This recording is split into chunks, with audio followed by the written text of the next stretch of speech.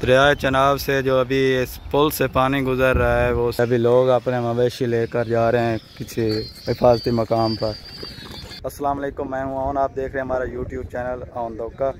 तो जैसा कि आपको पता है कि मुल्क में जो है सैलाब की सूरत हाल है तो अभी हम अपने इलाके के करीब एक दरिया है, दरिया चनाब उसके किनारे पर खड़े हैं और आपको व्यू दिखाते हैं कि पानी दरिया में कितना है। तो कुछ दोस्त मेरे साथ आए हैं जो मेरी जो ये भाई यहाँ के मकामी हैं। तजम्मल कलेक्टर साहब और साथ जैन है मेरे। तो ये हमें थोड़ी बहुत रहनुमाई करेंगे। ये बता रहे हैं कि जो है ना यहाँ पर पाल बता रहे हैं कि कल यहाँ पर पानी का जो लेवल है बहुत ज़्यादा था, आज कुछ कम हुआ है।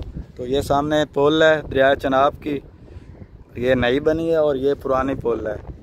क्रेडिट फैसल इस और ये पुरानी पुल है अंग्रेज़ों की बनाई हुई। मैं आपको जूम करके दिखाता हूँ ये वाली।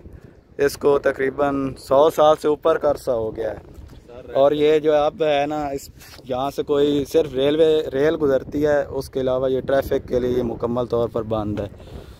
पत्थर उठाकर फेंकते हैं पानी में।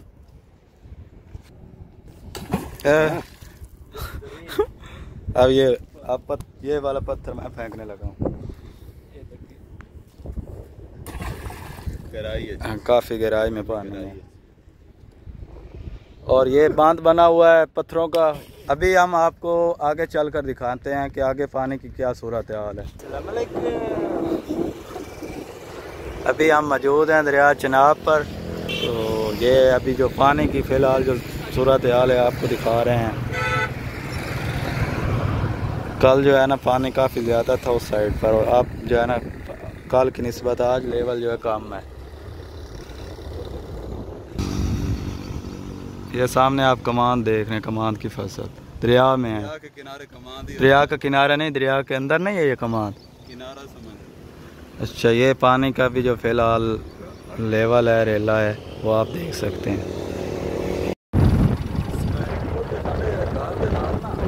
रोड के इस किनारे इस साइड पर दूसरी साइड पर जो है ना बिल्कुल पानी नहीं है। बिल्कुल खुश्क ज़मीन नज़र आ रही है। इस साइड पर पानी है। ये देख सकते हैं, पुरानी पोल पर जो है ना रेल की ये पटड़ियाँ पड़ी हैं जो आप लोहे के राड देख रहे हैं। यहाँ से ट्रेन गुजरती है तो ये पोल स्पेशली सब ट्रेन के इस्तेमाल के लिए रहेगी, ये ट्रैफ़िक के लिए मुकम्मल तौर पर बंद हो गई है, क्योंकि साथ नई पोल बन गई है ना तो ट्रैफ़िक वहाँ से गुजरती है। जब यहाँ से ट्रैफ़िक गुजरती थी तो बहुत रश होता था, बहुत रश होता था जो है ना, ट्रैफ़िक जैम हो जाती थी, लोगों को परेशानी होती थी। तो यहाँ के जो सियासी शख्सियत है, पीर फैसल साल तो उन्होंने उनकी काविश मेहनत से उन्होंने नई वो पुल बनाई है। तो इस पुल पर जो है वो लोड कम हो गया है। यहाँ से सिर्फ़ ट्रेन गुजरती है और ट्रैफ़िक जो है उस नई पुल के लिए है। स्पीड चेक करें पानी के, बहाव चेक करें। तो ये अभी हम पुराने पुल पर खड़े हैं, ये वीडियो बना रहे हैं। ये यहाँ पर जो है ना, पानी की स्पीड, बहाव जो है वो बहुत ज़्यादा है। ये चेक करें। ये लोग जो है ना यहाँ से गुजर रहे हैं इस पुल से। पानी देखने कुछ लोग पानी देखने आए हैं कुछ वैसे जो है ना गुजर रहे हैं यहाँ पर। ये देखो ना नीचे। ये होल क्यों बन रहे हैं? इसको क्या बोलते हैं? बरमुदा? बरमुदा ट्राइंगल इसमें जो भी चीज़ जाएगी वो नीचे चली जाएगी। अच्छा ये जो पोल है ना, पहले भी आपको बताया कि ये सौ साल पुरानी पोल है, अंग्रेज़ ने बना।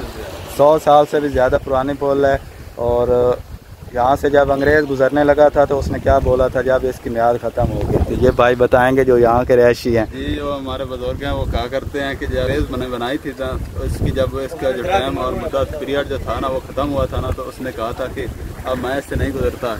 उससे रीज़न पूछी गई तो उसने कहा कि ये अब इसकी जो मुद्दत है ना पीरियड ये ख़त्म हो गया ये किसी भी वक्त यह गिर सकती है लेकिन अल्हम्दुलिल्लाह अल्लाह के फजल करम से ये अभी तक मौजूद है। अभी तक मौजूद है। दरिया चनाब से जो अभी इस पुल से पानी गुज़र रहा है वो सामने है 520 क्यूसेक। पानी की रफ्तार चेक करें। ये सामने ऊपर पुरानी पोल है उस पोल के नीचे हम खड़े हैं। नीचे का व्यू भी चेक